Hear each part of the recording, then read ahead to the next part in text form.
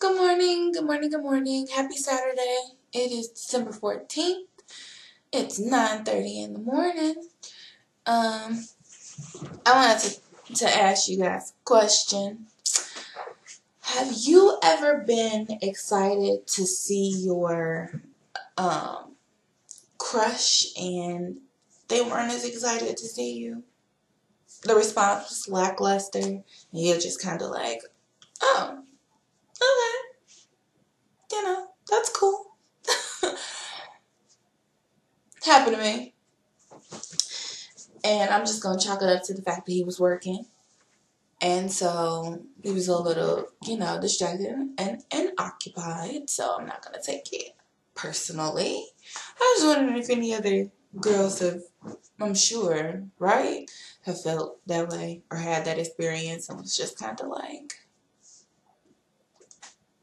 that's cool too.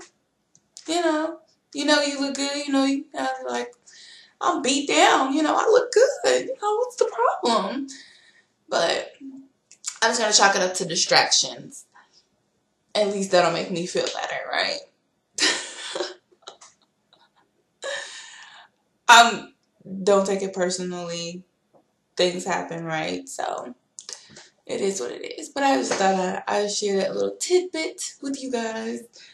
Something that happened to me that I thought was funny and wanted to share. So, like, subscribe, comment, tell me if anything like that's happened to you before, what you think.